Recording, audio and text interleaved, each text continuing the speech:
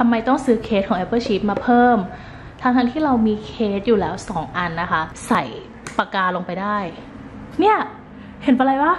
ใส่ปุ๊บชาร์จปั๊บเลย เคสวันนี้ที่เราจะแกะกันนะคะ เป็นของแบรนด์ Apple Chip ค่ะ เป็นรุ่น People นะคะ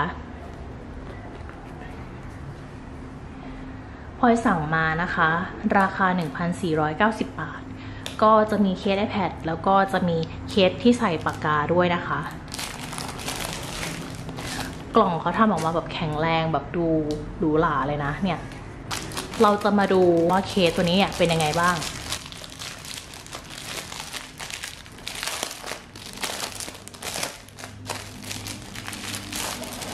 เปิดยังไงหึอ๋อ ตรงนี้หรือเปล่า ใช่แกะออกมาแล้วนะคะก็จะเป็นแบบนี้เลย นี่นะคะ จะสังเกตเห็นได้ว่าด้านนี้เนี่ยเขาแบบมีหลายมุมหลายเหลี่ยมให้เราพับเลยนะ ทั้งตั้งได้แนวนอน แนวตั้งนะคะ แล้วก็สามารถที่จะตั้งแบบมุมเขียนมุมดูหนังอะไรอย่างนี้ได้หมดเลยนะคะ มันก็เป็นเคสที่ตอบโจทย์ในการใช้งานจริง ๆนะคะ แล้วก็ในส่วนของเคสปากกานะคะพลอยเลือกมาเป็นสีนี้เนาะนี่เขาก็แบบใส่มาให้ตรงนี้อย่างที่เห็นเลยนะคะ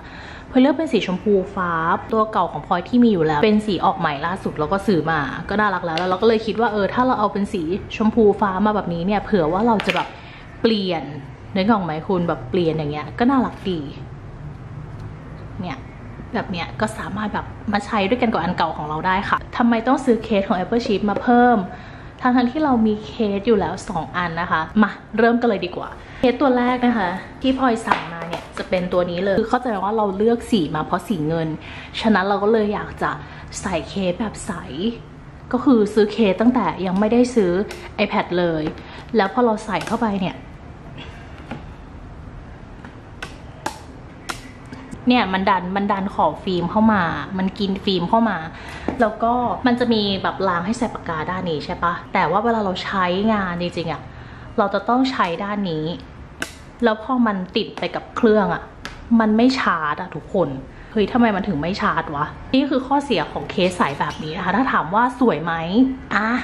ความสวยงามก็ สวยก็สามารถที่จะโชว์แบบโชว์เคสของเราได้อยู่ แต่ว่าแบบมันใช้งานจริงแล้วมันไม่ค่อยตอบโจทย์เท่าไหร่อันนี้ก็คือเบามากๆนะถ้าใครชอบแบบเบาๆก็คือ อันนี้ก็คือเลิศอยู่ มาถึงเคสแบบที่สองนะคะที่ซื้อมาตึงอะหน้าตาคุ้นๆคืออันนี้เนี่ยจะเป็นเคสที่มีที่รองกล้องตรงนี้เนาะ มันก็จจะตอบโจทย์ เพราะว่าเมื่อเราใช้ iPad Pro เนี่ย มันก็จะมีแบบกล้องมันนูนขึ้นมาอย่างนี้นึกออกไหมอะ อาจจะตอบโจทย์ก็ได้ มันก็จะมีเป็นอย่างนี้ด้วย ก็คือเมื่อเราใส่ iPad เข้าไปเนี่ย ก็อันนี้จะเป็นแม่เหล็กก็จะติดกับตัวนี้ แล้วก็ปิดเออสามารถใช้งานได้จริงแน่นอน แน่นอนคอนเฟิร์มทำไมมันถึงจะใช้งานไว้ได้จริงนะ เปิดออกมาค่ะ เดี๋ยวจะลองใส่ให้ดูนะ เวลาใส่นะคะก็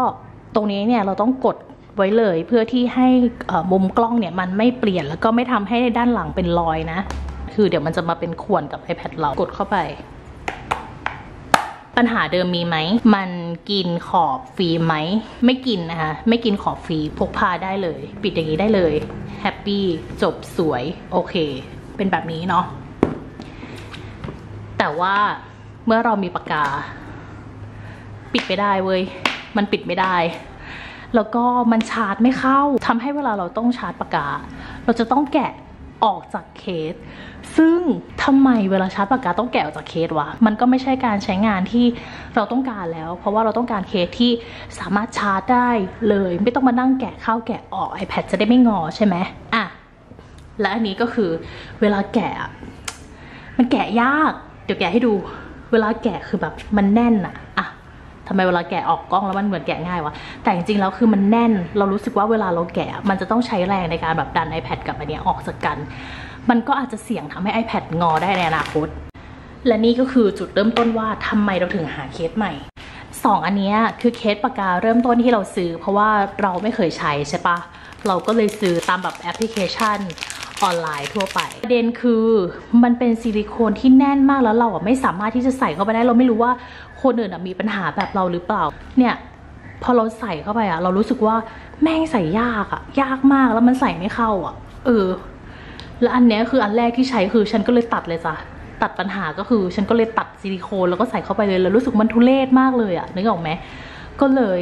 ไปเจอเนี่ยแหละเป็นเคสปากกาของ Apple Sheep ตัวนี้ที่คิดว่าเฮ้ย มันใส่ง่ายว่ะมันใส่ง่ายมันตอบโจทย์แล้วมันก็น่าจะไม่ได้มีปัญหาในเรื่องการชาร์จ เพราะว่าด้านนี้ที่มันติดกับ iPad อะมันก็สามารถแบบแปะได้เหมือนเดิม นี่เวลาเราใส่ก็คือใส่ง่ายมากคุณเห็นป่ะเมื่อกี้ใส่เข้าไปปุ๊บแล้วก็อันเนี้ยก็คือ คุ้มกันตรงก้นปากกา แล้วก็คุ้มกันตรงหัวปากกาทำให้สมมติว่าเวลาเราทำตกอย่างเงี้ย หัวมันก็ไม่กระแทกพื้นเอาเวลาเขียน จับมันก็จับถนัดมากอะ่ะ ไม่ลื่นแล้วก็สามารถที่จะแบบใส่อย่างเงี้ยข้างหลังได้ด้วยอะ่ะ ความตอบโจทย์ของเคสปากกา Apple Sheet ตัวนี้นะ ที่เราสั่งมา ก่อนตอนแรก ซึ่งเคสปากกาเนี่ยราคา 390 บาทอันนั้นก็อาจจะมีคนที่ชอบเคสปากกาแบบซิลิโคนแบบนี้ก็ได้เพราะว่ามันราคาถูกมาก โอ้โห เห็นตั้งแต่ราคาหลักสิบต้นๆก็มีอะเนาะแต่ว่าเราไม่สามารถที่จะใส่มันได้จริง ๆ ก็เลย bye bye มันไม่ชอบใจมันไม่โอเคพอเราใช้เคสปากกาอันนี้ กับเคส iPad อันนี้ คุณจำได้ไหมว่าเมื่อกี้ที่เราติดเข้าไปอะมันไม่สามารถที่จะพับแล้วก็ปิดอย่างนี้ได้ ฉะนั้นแล้วมันก็ตกอยู่ดี มันก็ไม่ตอบโจทย์อยู่ดี ตอนแรกที่แบบสั่งเคสปากกาอันนี้ Applesheep เขาก็ไม่ได้อยากจะขายให้เรา เพราะว่าเขาถามแล้วว่าเราใช้เคสแบบไหนพอเราบอกว่าเราใช้เคสแบบนี้เขาก็บอกเราเลยว่ามันปิดฝาไม่ได้นะ ซึ่งตอนนั้นอะเราไม่ได้มองเรื่องความปิดไม่ได้เลยตอนนั้นนะเพราะว่าเรายังไม่ได้เคยใช้ใช่ไหมเราแค่รู้สึกว่าเราอยากได้เคสที่มันสามารถแบบ กันหัวกันท้ายของ Apple Pencil เราได้ แล้วก็สามารถที่จะเปิดโทรน้องหมาตรงนี้ของเราได้ที่เราแบบสั่งสลักไป เลยสั่งมา แล้วก็เฮ้ยอันนี้คือชอบมากเลยนะชอบแต่ชอบอันนี้อย่างเดียวเว้ยเพราะว่ามันไม่สามารถที่จะใช้ได้กับเคสที่เรามีทั้งสองอันได้เลย คือมันชาร์จไม่เข้าอยู่ดี แม้ว่าตรงนี้จะเปิดที่ตัวซิลิโคนตัวเนี้ยที่มันติดชาร์จอะมันหนาเกินไปกลับสู่เคส Applesheep ตัวนี้ทำไมถึงต้องซื้อมาเซตเนี้ยที่มันรวมเคสปากกามาด้วยอะ มันทั้งหมด 1,490 บาทใช่ปะคือคุ้มมาก เพราะว่าอันนี้ตัวเดียวอะมัน 390ว้ที่เราซื้อแยกมา มาลองใส่พร้อมกันเลยดีกว่า เฮ้ย ใส่แบบไม่ยากเลยอะทุกคน ใส่ง่ายมาก แล้วตรงเนี้ยมันก็มีช่องที่เราสามารถที่จะใส่ปากกาลงไปได้ เนี่ย เห็นปะอะไรวะ ใส่ปุ๊บชาร์จปั๊บเลย มันแบบมัน flexible มันแบบมันสามารถใช้งานได้จริงแบบจริง ๆ เลยนึกออกไหม นี่อันนี้คือสีปากกาอันเก่าของเรา เฮ้ยหลายคนอาจจะไม่ชอบการใส่เคส Apple Pencil เนาะถ้าไม่ใส่เคสล่ะ ไอ้รูเนี้ยมันหลวมเกินไปหรือเปล่า ไม่ใช่แค่เธอที่อยากรู้ ฉันก็อยากรู้เหมือนกันอะแล้วพลอยก็ใส่เข้าไปฟึบชาร์จคุณเห็นปะแล้วมันตกไหมวะอะอยากรู้ว่าตกไหมเฮ้ยไม่ตก ไม่ตกคือมีอยู่นะ ยังมี Apple Pencil อยู่นะ ไม่ตกเว้ยทุกคนเยี่ยม อะ คือตอนเนี้ยเอ่อ Apple Pencil ของพลอยอะ พลอยเอาแค่หัวเนี่ยมันใส่ไว้เฉยๆใส่เคส อันนี้ปกติอย่างที่เห็นเลยอะมันใส่ได้รวดเร็วมากนึกออกไหมคุณ มันไม่ต้องทำให้เราแบบรู้สึกหงุดหงิดในการแบบว่าใส่ในการใช้ มันไม่ต้องทำให้เรามาแบบคิดเยอะว่าแบบแต่ว่าฉันต้องใช้เคส iPad แบบไหนที่สามารถใส่ปากกาเพื่อที่จะชาร์จได้หรืออะไรได้ คือตัวนี้มันตอบโจทย์แบบ จริงๆอะทุกคนเห็นเลยว่าพอใส่ปุ๊บมันขึ้นว่าชาร์จปั๊บเลยอะอันนี้คือการใส่ลงไปครั้งแรกนะเพราะเพิ่งแกะกล่องเมื่อกี้เลย